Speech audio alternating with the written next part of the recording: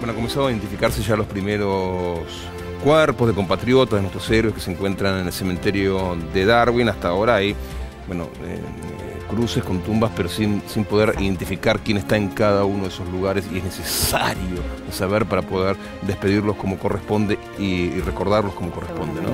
El trabajo que lleva adelante la Cruz Roja. Y bueno, y la información que compartimos ahora está relacionada con el viaje de familiares de soldados que van a viajar a las islas. Araujo es presidente de la Comisión de Familiares de los Caídos en Malvinas y también hermana de Elvio Eduardo Araujo uno de los 88 héroes de Malvinas, reconocido mediante ADN. Sus familiares agradecidos y emocionados van a visitar las tumbas en el cementerio de Malvinas el jueves 15 de marzo. Con mucha ansiedad.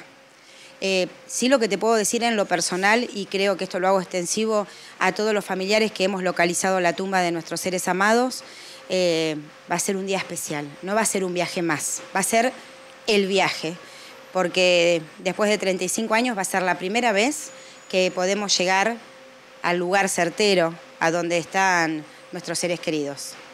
En el trabajo de identificación realizado entre junio y diciembre del año pasado, se trabajó sobre 122 restos encontrados en 121 tumbas. Una de ellas tenía dos cuerpos. Y finalmente, en parte porque no todas las familias dieron su ADN, se pudo identificar 88 restos.